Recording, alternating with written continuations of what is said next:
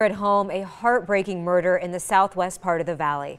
Police telling us late last night a father shot and killed his own son. It happened at a home right near Torrey Pines and Hacienda. The mother saw the entire confrontation. She was the one who actually called police. No other details have been released just yet.